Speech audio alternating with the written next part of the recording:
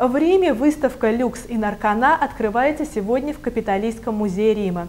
На ней будут впервые представлены 100 документов из секретных архивов Ватикана, в том числе папский указ Була об отлучении отца реформации Мартина Лютера от церкви. Фото этого документа, который около 400 лет находился под замком в Ватикане, к настоящему времени выложено в интернете.